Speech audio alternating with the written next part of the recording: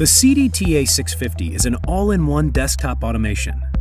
This standalone solution is a compact robot system for loading and unloading machines, such as LDIs, AOIs, and inkjets. The two four-axis robots enable a pick, place, and flip of the PCB and allow a AAA or triple B mode for a reverse workflow. A multi-batch mode can be used in order to separate a number of different jobs with diverse panels. All settings can be saved as recipes for quick access during a later time. The automation has an external cleaner, which is also available to be integrated. To avoid errors, a solid double sheet detection and separation is also built in. The clean room suitable CDTA 650 has a cycle time of down to 20 seconds per side. It has a footprint of only 1.2 by 1.2 meters, the smallest available on the market, and only consumes 1.2 kilowatts.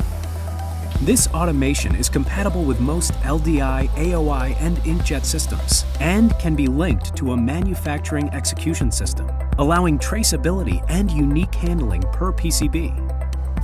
The CDTA is a valuable addition towards fully automated manufacturing.